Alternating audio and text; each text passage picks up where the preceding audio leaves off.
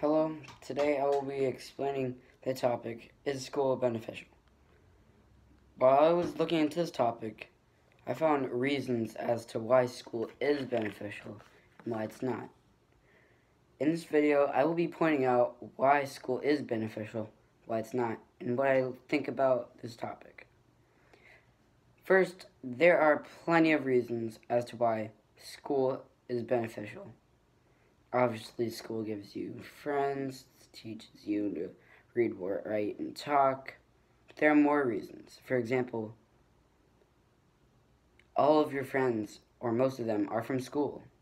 Think of a friend you met, and whether you met them in school. Most of us have made most of our friends in school.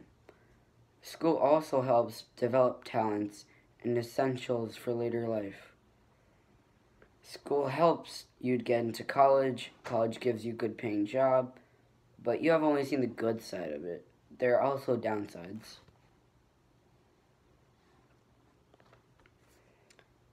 So many downsides, homework, mean teachers, and other things.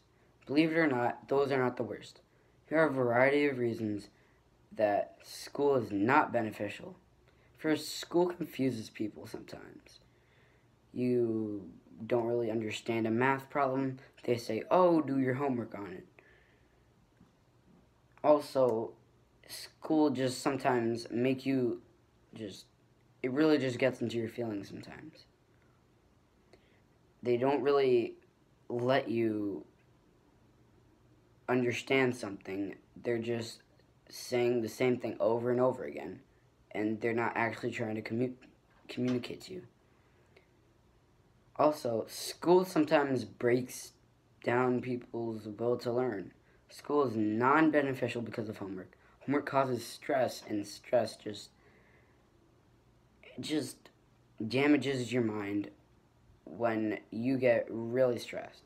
Schools don't successfully educate people because they don't really get into what the child is being told.